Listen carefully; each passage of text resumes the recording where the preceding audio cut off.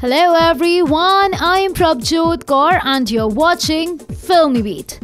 What seems to be a good day for movie buffs is another day of Bollywood box office clashes.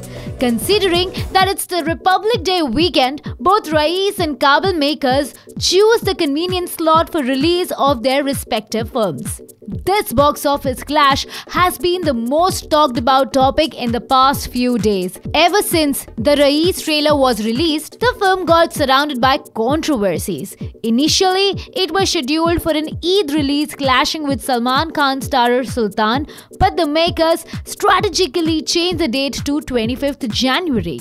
The release date of Kaabil was announced much before Raees came into the picture.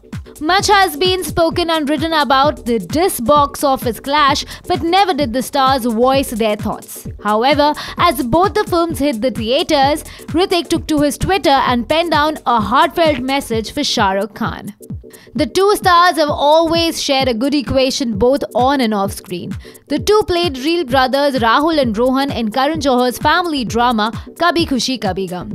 Rakesh Roshan, who is the producer of Kaabil, has been quite vocal about the clash. At a special screening of his son's film, the producer was asked whether he will be watching Raees as it is releasing on the same day. But he said, No, I will watch Kaabil once again. Kaabil is a love story depicting Hrithik Yami as a visually impaired couple, while Shah Rukh's Raees is based on bootlegger in Gujarat in the late 1970s and 1980s.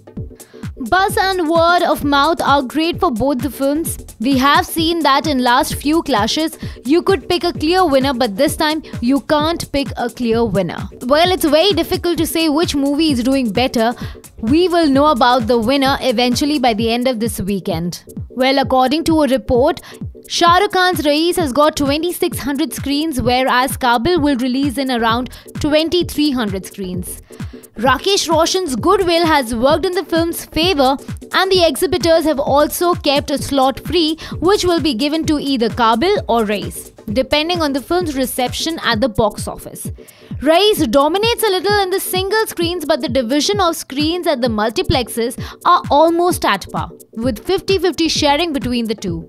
Well, the clear picture will be out during this weekend. That's all in this video. If you've liked it, please hit like, comment, and share. Also, don't forget to hit the subscribe button below. Thanks for watching.